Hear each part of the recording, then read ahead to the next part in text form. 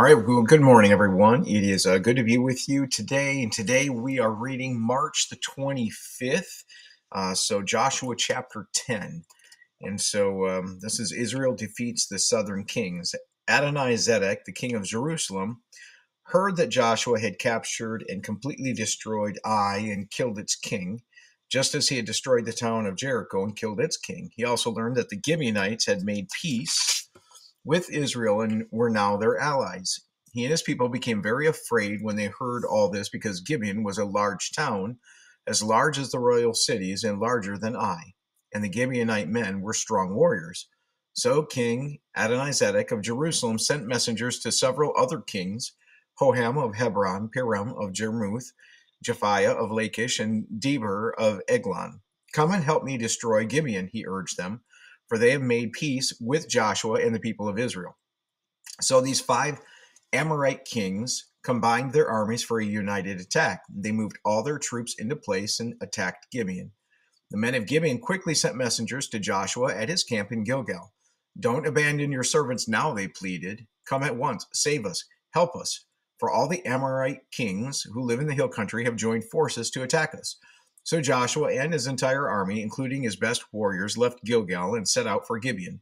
Do not be afraid of them, the Lord said to Joshua, for I have given you victory over them. Not a single one of them will be able to stand up to you. Joshua traveled all night from Gilgal and took the Amorite armies by surprise. The Lord threw them threw them into a panic, and the Israelites slaughtered a great number of them at Gibeon. Then the Israelites chased the enemy along the road to Beth Horon, killing them all along the way to Azekah and Makkedah. Um, as the Amorites retreated down the road from Beth Horon, the Lord destroyed them with a terrible hailstorm from heaven that continued until they reached Azekah. The hail killed more of the enemy than the Israelites killed with the sword.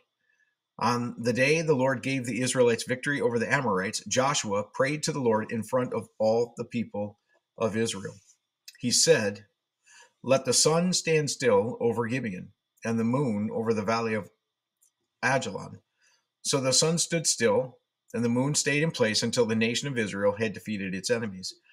Is this event not recorded in the book of Jashar? The sun stayed in the middle of the sky, and it did not set as on a normal day. There has never been a day like this one before or since when the Lord answered such a prayer. Surely the Lord fought for Israel that day. Then Joshua and the Israelite army returned to their camp at Gilgal.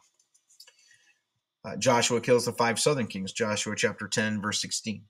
During the battle, the five kings escaped and hid in a cave at Makkedah. When Joshua heard that they had been found, he issued this command cover the opening of the cave with large rocks and, pa- and place guards at the entrance to keep the kings inside. The rest of you continue chasing the enemy um, and cut them down from the rear. Don't give them a chance to get back to their towns, for the Lord your God has given you victory over them. So Joshua and the Israelite army continued the slaughter and completely crushed the enemy. They totally wiped out the five armies except for a tiny remnant that managed to reach their fortified towns. Then the Israelites returned safely to Joshua in the camp at Makkedah. After that, no one dared to speak even a word against Israel. Then Joshua said, Remove the rocks covering the opening of the cave and bring the five kings to me.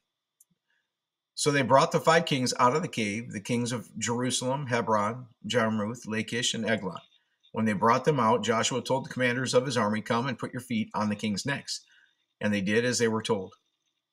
Don't ever be afraid or discouraged, Joshua told his men. Be strong and courageous, for the Lord is going to do this to all your enemies. Then Joshua killed each of the five kings and impaled them on five sharpened poles, where they hung until evening.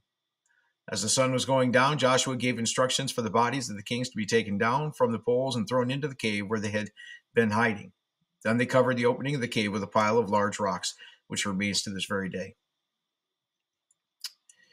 Israel destroys the southern cities. That same day, Joshua captured and destroyed the town of Makkedah. He killed everyone in it, including the king, leaving no survivors. He destroyed them all, and he killed the king of Makkedah as he had killed the king of Jericho. Then Joshua and the Israelites went to Libnah and attacked it. There, too, the Lord gave them the town and its king. He killed everyone in it, leaving no survivors. Then Joshua killed the king of Libnah as he had killed the king of Jericho. From Libnah, Joshua and the Israelites went to Lachish and attacked it. Here again, the Lord gave them Lachish. Joshua took it on the second day and killed everyone in it, just as he had done at Libnah. During the attack on Lachish, King Horam of Gezer arrived with his army to help defend the town. But Joshua's men killed him and his army, leaving no survivors. Then Joshua and the Israelite army went on to Eglon and attacked it. They captured it that day and killed everyone in it. He completely destroyed everyone just as he had done at Lachish. From Eglon, Joshua and the Israelite army went up to Hebron and attacked it. They captured the town and killed everyone in it, including its king, leaving, no survivors. They did, the same thing to all of its surrounding villages, and just as he had done at Eglon, he completely destroyed the entire population. Then Joshua and the Israelites turned back and attacked Debir. He captured the town, its king, and all its surrounding villages. He completely destroyed everyone in it, leaving no survivors. He did to Debir and its king just as what he had done to Hebron and Libnah and, and its king. So Joshua conquered the whole region, the kings and people of the hill country, the Negev, the western foothills, and the mountain slopes. He completely destroyed everyone in the land, leaving no survivors, just as the Lord, the God of Israel, had commanded. Joshua slaughtered them from Kadesh Barnea to Gaza, and from the region around the town of Goshen up to Gibeon. Joshua conquered all these kings and their land in a single campaign, for the Lord, the God of Israel, was fighting for his people. Then Joshua and the Israelite army returned to their camp at Gilgal. When King Jabin of Hazor heard what had happened, he sent messengers to the following kings King Jobab of Madon, the king of Shimron, the king of Acshaph, all the kings of the northern hill country, the kings in the Jordan Valley south of Galilee, the kings in the Galilean foothills, the kings of Naphoth Dor on the west, the kings of Canaan, both east and west, the kings of the Amorites, the Hittites, the Perizzites, the Jebusites in the hill country, and the Hivites in the towns on the slopes of Mount Hermon in the land of Mizpah. All these kings came out to fight. Their combined armies formed a vast horde, and with all their horses and chariots, they covered the landscape like the sand on the seashore. The kings joined forces and established their camp around the water near Merom to fight against Israel. Then the Lord said to Joshua, Do not be afraid of them. By this time tomorrow, I will hand all of them over to Israel as dead men. Then you must cripple their horses and burn their chariots. So Joshua and all his fighting men traveled to the water near Merom and attacked suddenly. And the Lord gave them victory over their enemies. The Israelites chased them as far as Greater Sidon and Misrapheth, Misphroth, Maim, and eastward into the valley of Mizpah, until not one enemy warrior was left alive. Then Joshua crippled the horses and burned all the chariots as the Lord had instructed. Joshua then turned back and captured Hazor and killed its king. Hazor had at one time been the capital of all of these kingdoms. The Israelites completely destroyed every living thing in the city, leaving no survivors. Not a single person was spared, and then Joshua burned the city. Joshua slaughtered all the other kings and their people, completely destroying them, just as Moses, the servant of the Lord, had commanded. But the Israelites did not burn any of the towns built on mounds except Hazor, which Joshua burned. And the Israelites took all the plunder and livestock of the rav- ravaged towns for themselves, but they killed all the people, leaving no survivors. As the Lord had commanded his servant Moses, so Moses commanded Joshua, and Joshua did as he was told, carefully obeying all the commands that the Lord had given to Moses. So Joshua conquered the entire region, the hill country, the entire Negev, the whole area around the town of Goshen, the western foothills, the Jordan Valley, the mountains of Israel, and Galilean foothills. The Israelite territory now extended all the way from Mount Halak, which leads up to Seir in the south, as far north as Baal Gad at the foot of Mount Hermon in the valley of Lebanon. Joshua killed all the kings of those territories, waging war for a long time to accomplish this. No one in the region made peace with the Israelites except the Hivites of Gibeon. All the others were defeated. For the Lord hardened their hearts and caused them to fight the Israelites, so they were completely destroyed without mercy, as the Lord had commanded Moses. During the, this period, Joshua destroyed all the descendants of Anak, who lived in the hill country of Hebron, Debir, Anab, and the entire hill country of Judah and Israel. He killed them all and completely destroyed their towns. None of the descendants of Anak were left in all the land of Israel, though some still remained in Gaza, Gath, and Ashdod. So Joshua took control of the entire land, just as the Lord had instructed Moses. He gave it to the people of Israel as their special possession, dividing the land among the tribes, so the land finally had rest from war. Joshua 12. These are the kings east of the Jordan River who had been killed by the Israelites and whose land was taken. Their territory extended from the Arnon Gorge to Mount Hermon, and included all the land east of the Jordan Valley. King Sihon of the Amorites, who lived in Heshbon, was defeated. His kingdom included Aroer on the edge of the Arnon Gorge and extended from the middle of the Arnon Gorge to the Jabbok River, which serves as a border for the Ammonites. This territory included the southern half of the territory of Gilead. Sihon also controlled the Jordan Valley and regions to the east, from as far north as the Sea of Galilee to as far south as the Dead Sea, including the road to Beth Jeshimoth and southward to the slopes of Pisgah. King Og of Bashan, the last of the Raphites, lived at Ashtaroth and Edrei. He ruled a territory stretching from Mount Hermon to Salecah in the north and to all of Bashan in the east and westward to the borders of the kingdoms of Geshur, uh, Geshur and Maacah. This territory included the northern half of Gilead as far as the border of King Sihon of Heshbon. Moses, the servant of the Lord, and the Israelites had destroyed the people of King Sihon and King Og. And Moses gave their land as a possession to the tribes of Reuben, Gad, and the half tribe of Manasseh. All right, so uh, so the Israelites they are pushing in and they're pushing um, any of those that would retreat uh, would be able to, but the kings were conspiring together to fight against Israel, and God given them instructions to completely wipe them out, to not make treaties with them, uh, to do away with uh, with their pagan um, idol worship, and uh, making sure that they were not, um, you know, infected by the same type of, um, you know, sin sickness.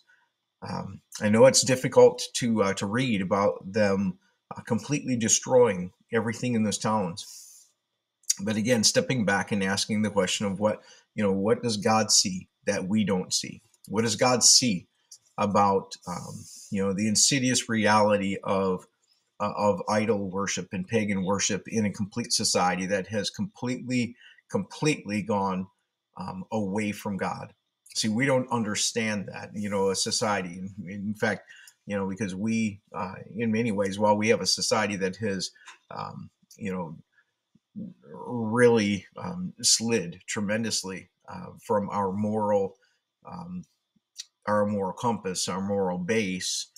Uh, what's amazing is, uh, you know, we still have a, a strong remnant of, you know, believers um, in this uh, in this country. And imagine if all of all of the believers, all of those who have, you know, um, Judeo-Christian beliefs as the foundation of our morals. Um, imagine if if all of those were now gone, if the witness of God was gone in a community completely, um, how devastating that would be you know, w- imagine you've probably heard of mo- movies like The Purge and you know other types of movies like that that uh, yeah, people are just kind of unleashed and given the uh, you know the freedom in a certain time frame to be able to uh, to do anything that they want to. Well, imagine a society where that is the case all the time, where there are no rules, everybody's doing as they see fit, and uh, you know there is every type of immoral behavior uh, that is sanctioned within a culture and a community.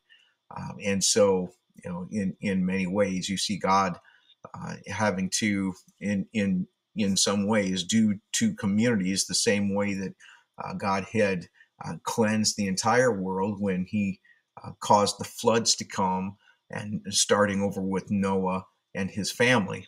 Um, in this way, God is is still raining down, uh, you know, this this, this purification um, of a region where his people are coming in and settling in. And so it helps us again understand uh, a little bit as to what it is that God is attempting to do um, in making sure that the land is is purged of that kind of evil.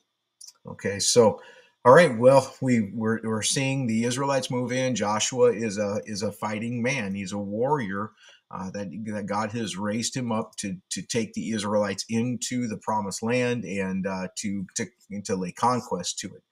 And uh, so eventually they will settle in and they will divide up the land uh, by everybody to everybody. So that's uh, that's going to be coming tomorrow. So um, we'll see how they divide the land and you know then uh, then what happens after that.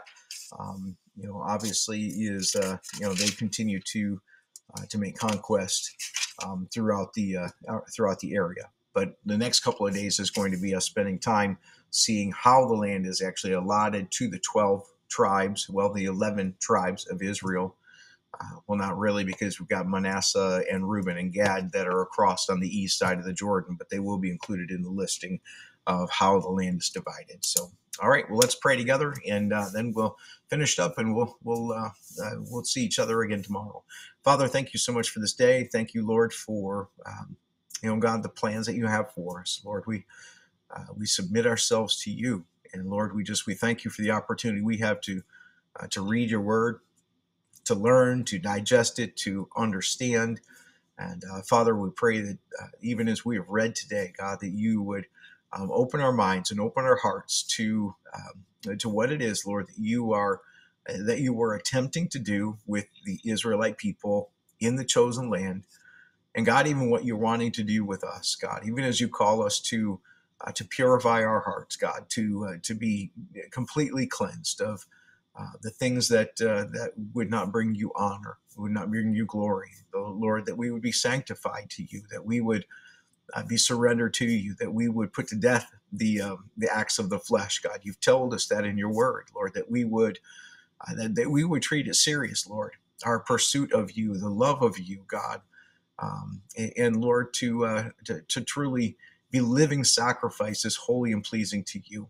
And, and so, God, help us to do that. Help us to um, you know, to treat with seriousness those those places where uh, where sin uh, has taken up residency in our lives, Lord, where we are uh, where we're tempted, God, and and uh, Lord, help us to not give root, Lord, to the enemy uh, being being able to work in our lives, Lord. If, is if there's any place in our hearts, in our lives, God, if there's any wickedness in us, Lord, would you point it out by your Holy Spirit?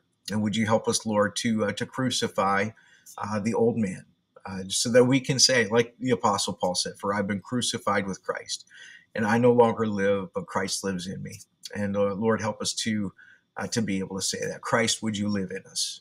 Live in us, Christ, and uh, help us, Lord, to to put to death the old man and come alive fully in you, God. And thank you, Lord, that as we do that, Lord, you you raise us up to a new life. You give us new attitudes, uh, the, like the beatitudes that you spoke of in, of in the Sermon of the Mount. You you, you give us uh, new attitudes and a new heart, Lord. Put a put a new heart in us. We ask you, put a new heart in us. Help us, Lord, not to uh, uh, to, to go soft on sin in us. We thank you, Lord, that we are saved by grace through faith in you. And Lord, we have faith, God, that not only can we be forgiven of sin, but Lord, that you can give us victory over sin. Lord, because you've come to uh, to redeem us. You've come to, uh, to, to change us, Lord. You tell us that if anyone's in, one is in new in Christ, they are a new creation, and the old is gone, and all things become new. And Lord, we accept that all, that all things, God, you want to become new. And Lord, help us to walk in that newness uh, with you. Thank you, Lord, for each one. I pray your blessing over them today. In Jesus' name. Amen. Amen. All right. Well, God bless you. I hope you have a great day, and uh, we'll see you back here tomorrow. All right. Have a wonderful day.